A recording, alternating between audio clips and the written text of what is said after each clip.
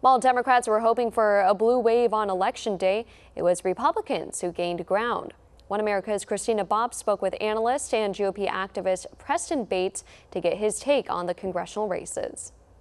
Preston Bates, host of Business Matters Show, who has run over 250 political campaigns and is an expert on campaign efforts, recently predicted several wins and losses in the House.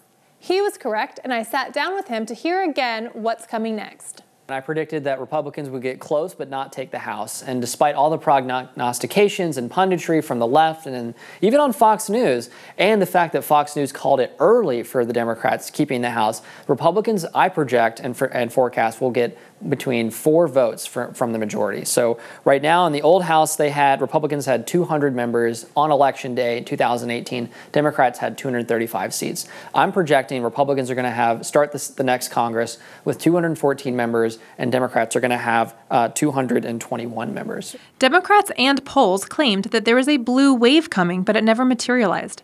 Instead, Republicans picked up a handful of seats in the House. How did they get it so wrong, and what caused the Republicans to pick up seats? I think it happened because of socialism. I think it happened because the party, the Democratic Party, tried to make their own contract with America, so to speak, in 2018. Remember, we were talking about Russia and the fact that Trump may have been a Russian agent, which was completely bunk and, and was a conspiracy theory, and it didn't pan out.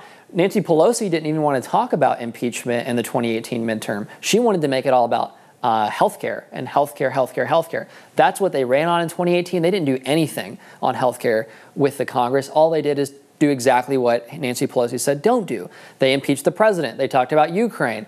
Then it became about lockdowns and COVID. And so we just saw a party kind of run away and kind of get derailed. The media is doing its best to paint the election as a win for Democrats, but they really haven't won much of what they projected.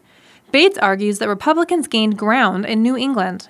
It turns out that individuals made choices that affected their pocketbook, their, their faith, um, their day-to-day living. They don't want to live in, uh, in a dark winter. They don't want to. They don't want to wear masks indefinitely. They don't want to follow bunk science. They see what's happening in Sweden, and so they gave the power back to the Republicans. I also forecasted to you that Republicans would take New Hampshire. Now, while President Trump did not win the state, at least it doesn't look like until we do an audit.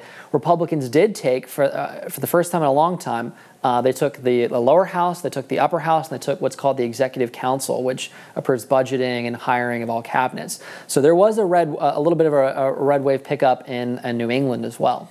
Multiple races hang in the balance, including the Senate race in Georgia. Bates says that Republicans will likely hold on to the Senate.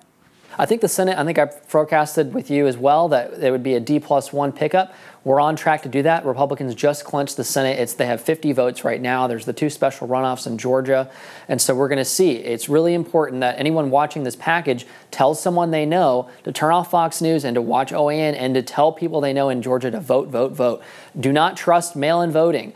Go vote in person on the Republicans typically outperform Democrats in special elections and runoffs, which is good. But we saw how determined the, the Democratic Party is to cheat, lie, and steal their way into power. So it's very important that people get out there and support uh, good conservative candidates and vote. But I do think that Republicans will win. I think it'll be 52 48. This has been a wild election, and experts are eager to see their predictions play out. It appears Republicans will keep the Senate and make major gains in the House. I'm Christina Bobb, One America News, Washington. Want to see more videos like this? Visit OANN.com for immediate access to all the clips you've been waiting to see.